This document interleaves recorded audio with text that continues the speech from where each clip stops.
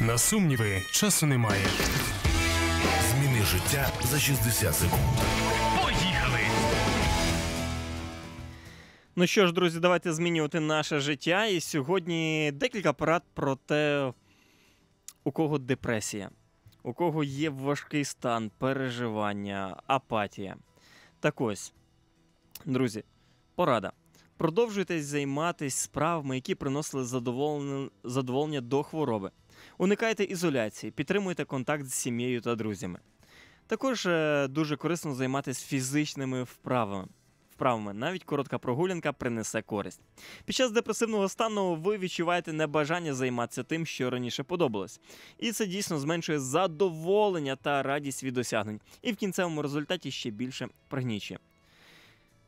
Буде виникати замкнене коло, в якому просто ви, як людина, будете почувати себе дедалі гірше. Інколи людині важко підвестися з ліжка, вийти з дому, готувати їжу, навіть просто вмиватися.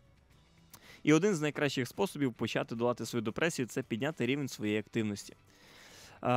Дотримуйтесь звичного режиму харчування і сну. Прийміть той факт, що у вас можливо депресія, і відповідним чинником е, чином скоректуйте свої очікування. В такому стані у вас може не бути сил, щоб робити звичайний для вас обсяг робіт. Це нормально при депресії. Сконцентруйтесь на подоланні хвороби, щоб швидше повернутися до нормального життя. Відмовтесь від алкоголю, не вживайте психотропні чи наркотичні засоби. Вони можуть посилити депресію, якщо у вас з'явились думки там про самогубство і або ще щось. Тому, друзі, тут потрібно, звичайно, звернутися за допомогою.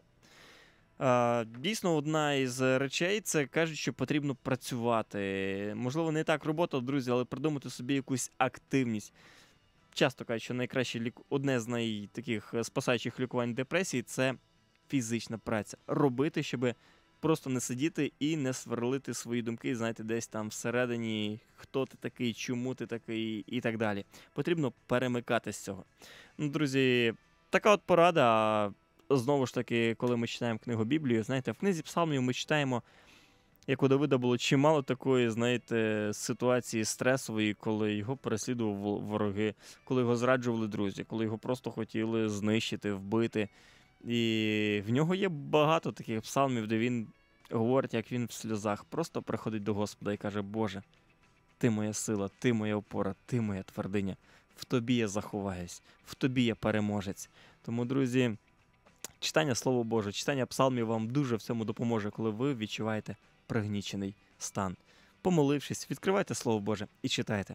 І нехай ваш настрій зміниться з мінуса на плюс.